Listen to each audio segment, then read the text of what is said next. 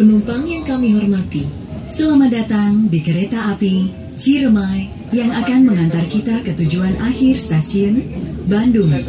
Perjalanan kali ini menempuh waktu sekitar 7 jam 36 menit. Jika Anda memerlukan bantuan atau informasi lainnya, Anda dapat menghubungi awak kru kami yang bertugas pada perjalanan kali